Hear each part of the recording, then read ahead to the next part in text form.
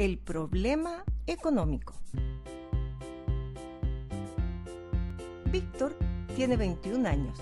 De lunes a viernes trabaja en una oficina y estudia administración de empresas en jornada vespertina. Todos los meses debe pagar sus gastos básicos, como luz, agua, gas, alimentación, arriendo, transporte y la cuota de sus estudios.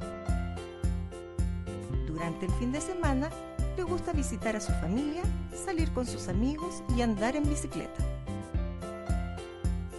Le encantaría poder comprarse un auto y viajar. Sin embargo, no tiene los recursos suficientes, ya que prefiere utilizar sus ingresos para terminar su carrera y afrontar los gastos de vivir solo. La decisión de satisfacer algunas de sus necesidades con sus recursos y dejar otras de lado se conoce como problema económico y es la base de la economía.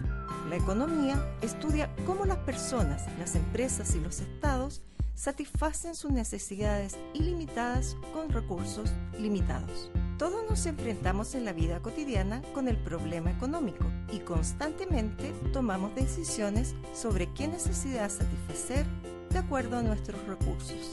Para Víctor, lo más importante son sus estudios, pagar sus gastos básicos y tener tiempo libre para estar con su familia y amigos. El resto de sus necesidades deben esperar, ya que no cuenta con los recursos para satisfacerlas de manera inmediata.